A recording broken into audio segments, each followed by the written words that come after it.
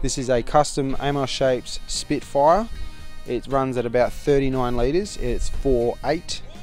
I'm 95 kilos and I actually think that is the perfect volume. It pumps incredible, paddles in really easy, and I'm really, really enjoying that. I've only had it for a week, so I'm going to do a full board review of that soon.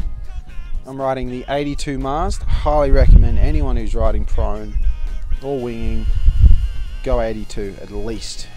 Get rid of your 75, go 82. If you're on the wing, you know, up to 100, it's epic. I'm running the 400 progressive tail, which is the flat one.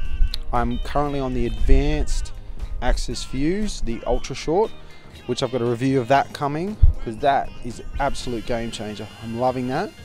And I run two wings. For smaller days, I run the ART 1099. That's my pump and link wing. And smaller days, and then I'm running the uh, 899, which is my better surf days wing.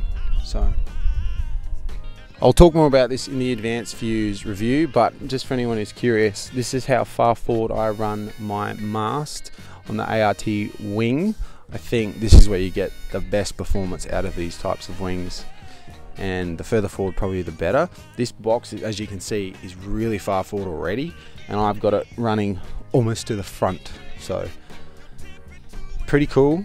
Very different feeling getting up, but I highly, highly recommend it for so many reasons, which I'll go into in another video. But for anyone who's curious, that's my current prone setup. There is no videos of me riding this yet because it's so fresh, but nonetheless, I will get some out soon, hopefully. There's some waves. We're on a bit of a wave shortage at the moment.